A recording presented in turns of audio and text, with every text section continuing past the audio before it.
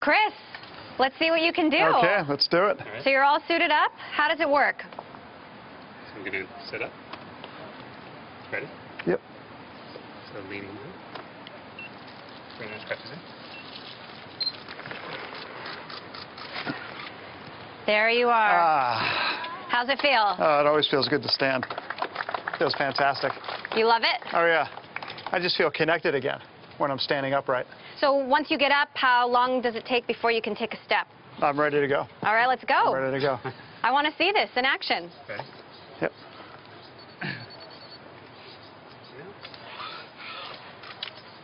One foot in front of the other. That is amazing. When you first did this, what went through your head? Well, the first thing is the um, you notice uh, how important it is to connect with the world at eye level. Let's just stop here.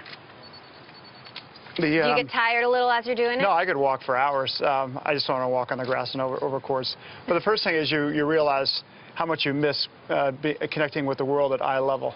When you're in a chair, you're always looking up and people are always looking down. And so that part is, is extremely important. Uh, the other thing you notice is that uh, how, how comfortable and how stable you feel in the device. You do, there is a, a period of time when you find your balance again, you're really relearning to walk. And, um, and it just feels good. The, my, um, I actually can feel, uh, even though I'm not supposed to, I sense um, a vibration uh, through my legs when I'm walking.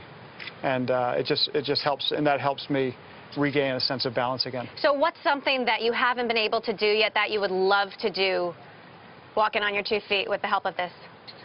Well, the, uh, the, the dream is uh, right over there over my left shoulder is to play, play a, go- a golf hole one day.